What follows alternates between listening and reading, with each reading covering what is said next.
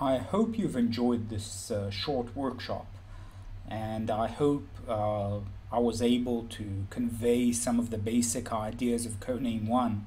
Uh, keep in mind, this is uh, just the tip of the iceberg that is Codename One. There is a lot of information out there and a lot of details and uh, tremendous amount of work that has gone into Codename One.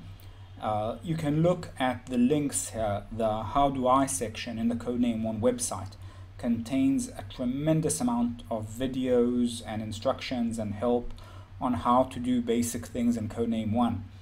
The developer guide uh, is incomplete always, but it's over 200 pages of information about Codename 1.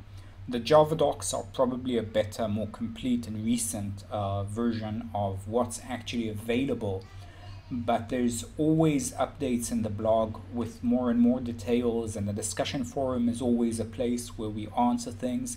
If you don't like the discussion forum, please ask us questions and tag them codename1 in Stack Overflow.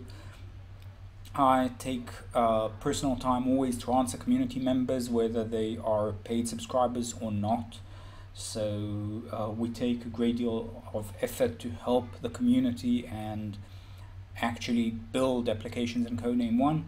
That you can actually see the full source code of Codename One uh, in uh, our Google Code project, as well as uh, the issue tracker and everything. We work completely transparently in that regard.